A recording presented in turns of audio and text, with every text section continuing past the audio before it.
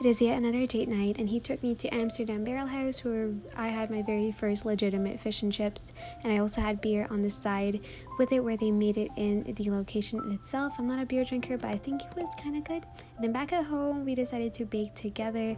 We are going to be making cookies for people to give uh, as gifts. We are going to be making red velvet cookies, and I didn't really think of adding any instructions here because uh, I was just trying out a Pinterest recipe. I think it turned out pretty good because the people did give us positive replies, and I'm hoping it's not because they were trying to be nice.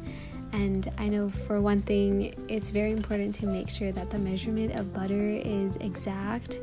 It does play such a huge role in how chewy and how or gooey the cookies become. Our brown sugar was rock hard, so we had to break it up. And here I am using the new stand up mixer. I didn't even realize that my spatula that I bought from Zellers months ago matched the current st- uh, stand up mixing machine. The red coloring made the dough look really disgusting, and here we are using the tools so that the flour doesn't fly. It was very useful. There was quite a lot of dough actually that we made, and I had to store a roll that would probably make another like a dozen more cookies. They look like organs. anyway, I think these turned out pretty cute. They're not looking cute right now, but after it was baked, which I think we just had to leave in for 15 minutes, it looked cute. It didn't look like organs anymore. It didn't look like flesh. I did not have a proper bowl, I guess, to melt the, the chocolate, but it worked out. It didn't burn, and I was scared it was going to, but it turned out pretty fine.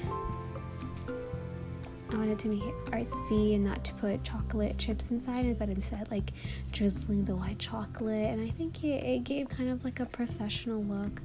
I don't know. There's definitely so much joy in making the gifts instead of buying it for others. Saturday began with breakfast with the sisters because someone's going to be leaving that very day and we couldn't go with her because we had Christmas lunch and we went to use seafood at Yorkdale and we ordered quite a lot of items actually because we thought that the amount would be much lesser since it was expensive, but everything was pretty filling and pretty tasty, at least for me. They said that they they didn't think it was very authentic, but it definitely was very, very nice to look at. I thoroughly enjoyed every single item, and I but I did not try the chicken feet, so I can't say anything for that. And obviously, we had dessert, and that was free. The mango sago, which was it was very fancy. It is yet another date night, and we went to Pickle Barrel. Everything on the menu was so expensive, but we decided to go ahead and share a wonton nacho platter, which was really good, by the way. And then we ordered this thick sandwich, which we halved, but everything was all in all very filling. We were scared it would not fill us up. After that, we went to go watch Wonka at the VIP cinemas at and Eglinton, and the Wonka movie was so cute. Anyway, at the end of the movie, there was barely anybody outside, and I saw Santa Claus, and that's us trying to leave.